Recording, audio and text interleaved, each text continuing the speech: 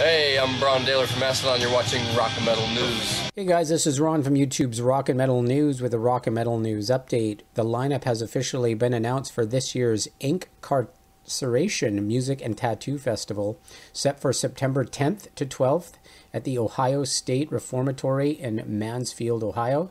The festival will host the first show of Mudvayne's Reunion. That's pretty cool.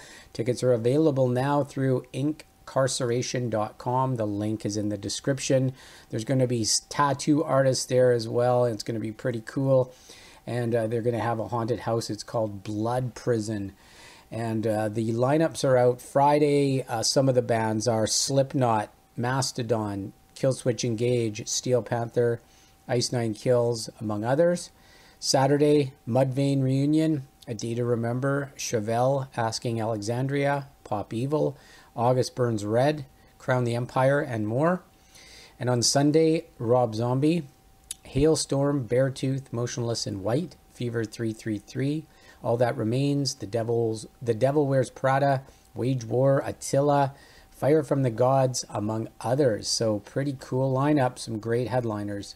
This is Ron from YouTube's Rock and Metal News. Thanks for tuning in.